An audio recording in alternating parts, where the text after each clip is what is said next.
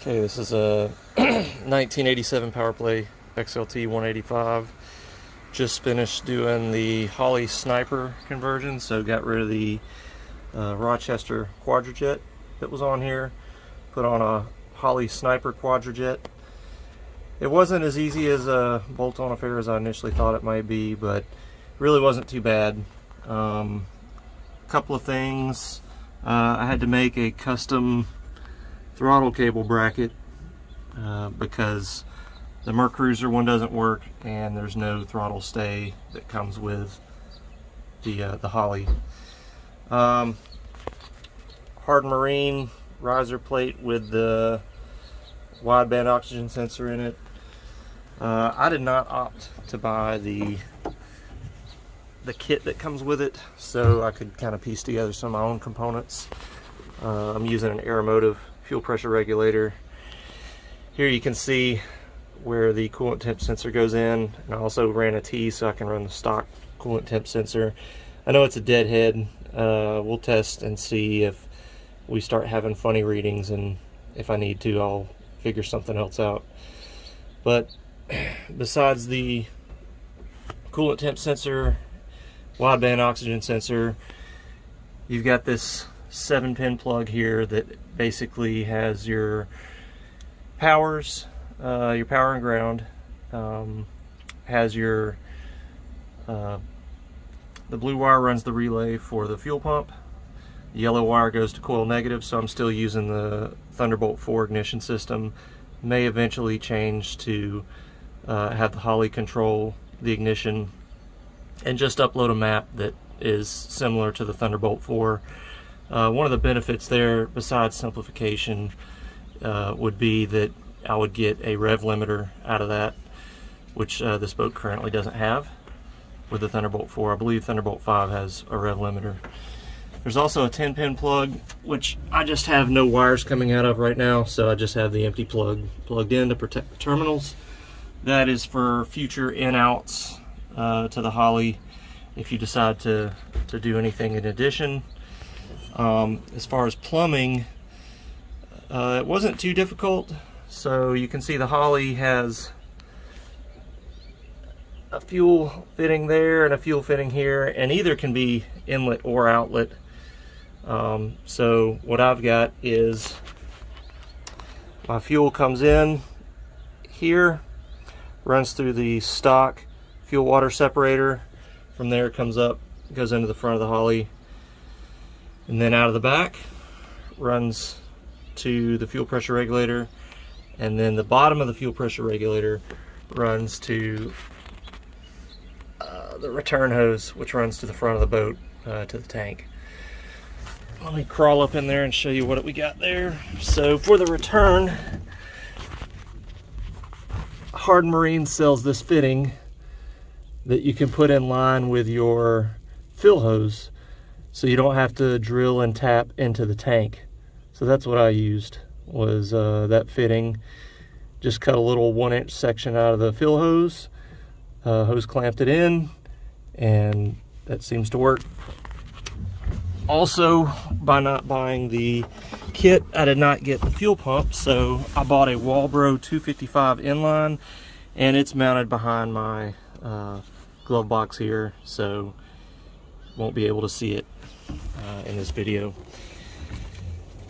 One other thing on the Holley, uh, you get this additional plug. Um, comes with a pendant, like a little touch screen, and that plugs in there. Right now I've just got it routed through my side panel. The cable isn't long enough, so I've got to make a new cable. Um, but my plan is to mount it right here on the dash and have the wire tucked going through this blank switch here. And then all my other gauges should still work as expected. So yeah, that's kind of a, a quick breakdown. Oh, I guess let me show a little more of the wiring. So from that seven pin plug we talked about earlier there, I routed the wires around and down here on my battery switch panel, I've got the inline fuse 30 amp for the Holley system and the relay that controls the fuel pump. So um, the wiring harness that comes with the Holley kit is really not very long at all. I had to add about 16 feet of wire um, to get the plugs where I wanted them, the fuse and relay where I wanted it, and, and everything else.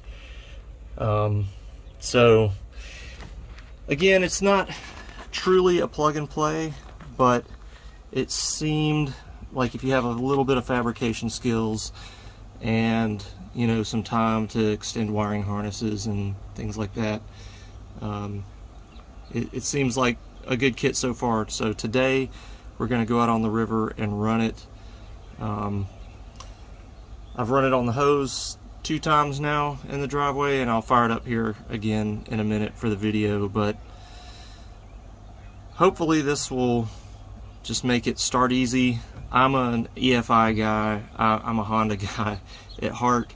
Uh, these V8s are a little new to me, um, but yeah, I've got a, a Honda Civic that has um, a tunable ECU in it, so I'm familiar with, not familiar with Holley's software yet, but I'm familiar with EFI tuning, so hopefully it shouldn't be too big of a deal.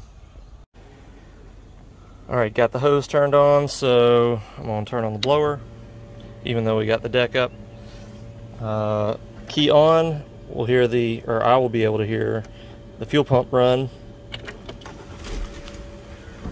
And I'll show you with the fuel pump running, it gets up to 60 PSI. Runs for five seconds when you start it up and then um, depressurize until you're running.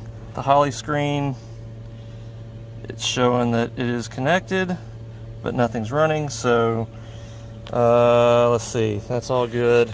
Here we go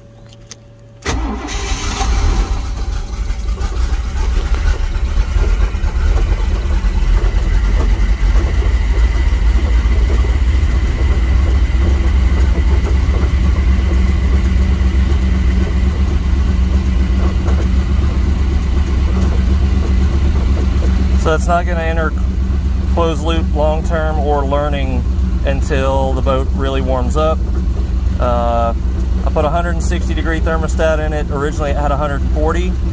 So um, hopefully that will allow it to get warm enough to actually start doing the closed loop and learning to run better. So it should start and run better the more I use it as it learns.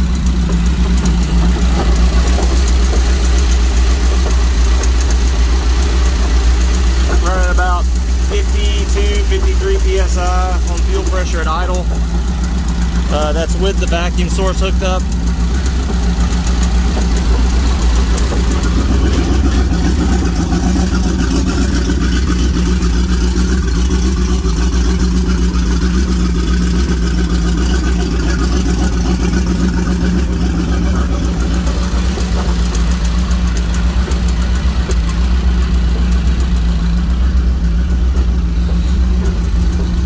We'll uh, we will hopefully get out on the water today and do some testing.